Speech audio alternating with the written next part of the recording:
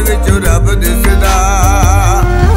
ਤੂੰ ਬਾ ਛੇੜ ਲੈ ਤੂੰ ਦਿਲ ਵਾਲੀ ਤਾਰ ਦਾ ਤੂੰ ਬਾ ਛੇੜ ਲੈ ਤੂੰ ਦਿਲ ਵਾਲੀ ਤਾਰ ਦਾ ਜੇ ਤੂੰ ਵੇਖਣਾ ਹੈ ਮੁੱਕ ਸੋਹਣੇ ਯਾਰ ਦਾ पाकिस्तान के मकबूल तरीन गुलकारों में साई जहूर का भी शुमार होता है। वो इंतहाई मुनफरद आवाज़ के मालिक हैं। उनकी पुरसोज आवाज़ में पढ़े जाने वाले कलाम समा बाँध देते हैं। उनकी सहर तारी कर देने वाली आवाज़ किसी को भी रुलाने की अहलियत रखती है। साई जहूर की ज़िंदगी एक हैरान कुन जिदोजहद की कहानी है। एक पसमानदा इलाके का गरीब लड़का जिस तरह कामयाबी के उफक पर चमका, सबके लिए मिसाल है। साई जहूर की शोहरत पूरी दुनिया में है। बड़े बड़े भारतीय फनकार भी उनके मद्दा हैं। साई जहूर कई एक लाजवाल गीत गा चुके हैं। उन्होंने पूरी दुनिया में कंसर्ट्स किए हैं, लेकिन अफसोस के साई जहूर अपनी ज़िंदगी में पैसा जमा न कर सके। उनकी मासूमियत और सादगी ने बहुत धोखे खाए और उनके करोड़ों रुपए पानी में बह गए। एक तरफ़ वो अच्छा घर न बना सके और अच्छी ज़िंदगी न गुजार सके, जबकि उम्र ढलने के साथ साथ साई जहूर गुमनाम भी हो गए हैं। आज की इस वीडियो में हम आपको बताएँगे कि साई जहूर कहाँ और किस साल में ज़िंदगी गुजार रहे हैं।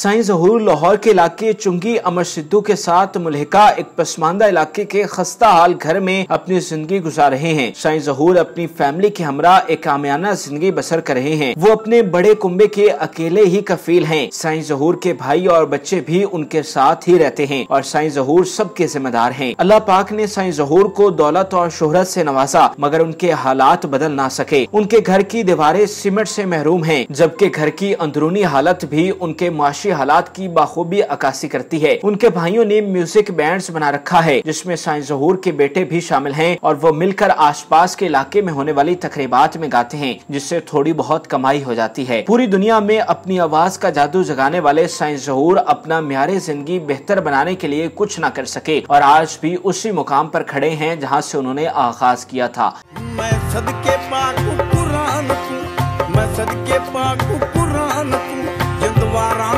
ਦੀ ਸ਼ਾਨ ਤੂੰ ਜਿੰਦਵਾਰਾ ਨਬੀ ਦੀ ਸ਼ਾਨ ਤੂੰ साइंस जहूर का सारा दिन अपने घर के सहन में रियाजत करते हुए गुजरता है। म्यूज़िक के बदलते हुए रोज़ाना की वजह से उनका करियर अख्ताम के दहाने पर पहुँच चुका है। तहम निजी महाफिल और दरबारों पर लगने वाले उर्स मुबारक पर उन्हें परफॉर्म करने का मौका मिल जाता है और यहाँ से मिलने वाले थोड़े बहुत पैसों से उनका खर्च चल जाता है। पहले के नस्बत पाकिस्तान और पाकिस्तान से बाहर उनके म्यूजिकल टूर्स न होने के बराबर है। ਫੁੱਲਾਂ ਇਸ਼ਕ ਰੁਲਾ ਛੱਡਦਾ। ਸਰੇ ਬਜ਼ਾਰ ਚਾਵੇ ਇਸ਼ਕ ਨੱਚਾ ਛੱਡਦਾ।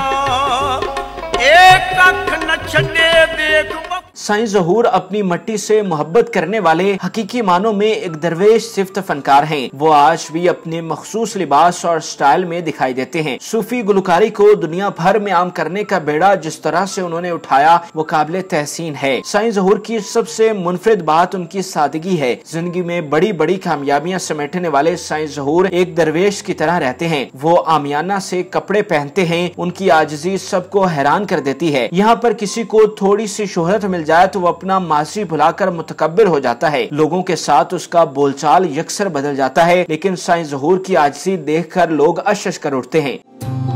इश्क पे आब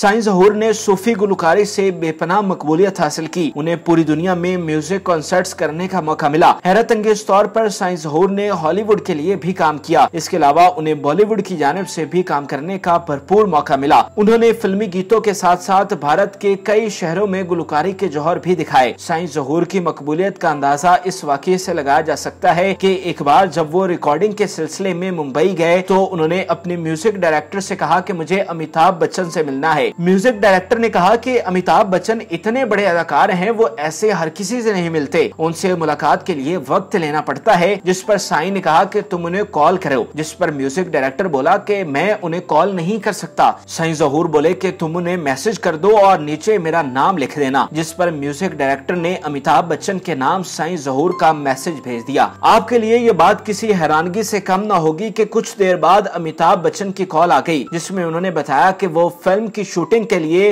दिल्ली में मौजूद हैं, लेकिन वो उनसे मिलने वापस मुंबई आ रहे हैं। और यूँ भारत का सबसे बड़ा स्टार दिल्ली में अपनी शूटिंग छोड़कर सैकड़ों मील का सफ़र तय करके साई जहूर से मिलने मुंबई आया। एक इंतहाई गैर मामूली वाक्य है।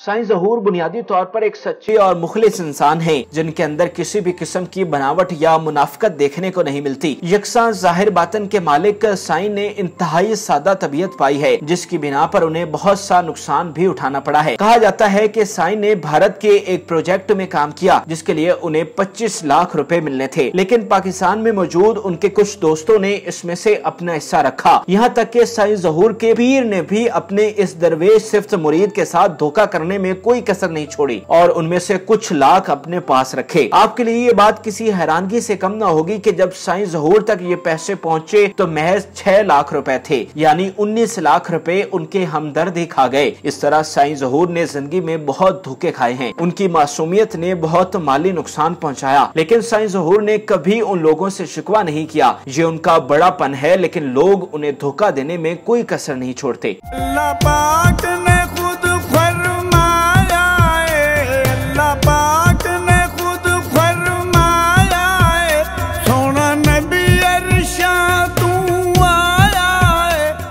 2020 में साई जहूर के साथ एक फ्रॉड भी सामने आया। इस्लामाबाद में साई के जाली शागिर्द बनकर कुछ लोग आर्ट्स काउंसिल जा पहुँचे और उन्हें अपना तारुफ करवाया कि हम लोग साई जहूर के शागिर्द हैं। चूँकि उनकी तबीयत खराब है, लिहाजा वो परफॉर्म करने के लिए नहीं आ सकते, इसलिए साई ने हमें भेजा है। ये सुनकर आर्ट्स काउंसिल के मेंबर ने साई को फ़ोन करके जब उनकी तबीयत दरियाफ्त की तो साई ने बताया कि वो बिल्कुल ठीक और हशाश बशाश हैं, जिस पर ये मम्मा खुला के उनके नाम से चंद नौसरबाज परफॉर्मेंस के नाम नाम पर पैसा लौटने में मसरूफ हैं। इस फ्रॉड के बाद साई जहूर का इंटरव्यू आया, जिसमें उन्होंने बताया कि उनका सिर्फ़ और सिर्फ़ एक शागिर्द ज़फ़र लोहार है। इसके अलावा उनका पाकिस्तान में और कोई शागिर्द नहीं और बाकी सब भारत में है।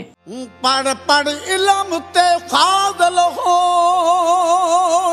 वे कदे अपने आप नु पढ़िया ना।